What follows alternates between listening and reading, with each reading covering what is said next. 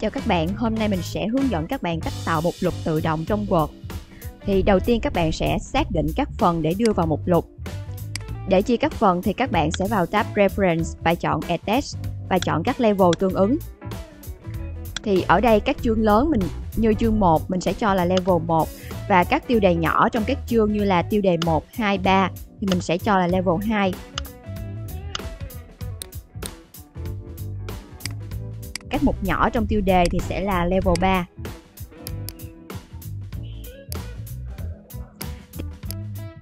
Tiếp theo thì để làm mục lục, các bạn sẽ chọn trang muốn tạo mục lục và nhấn chọn vào mục Reference.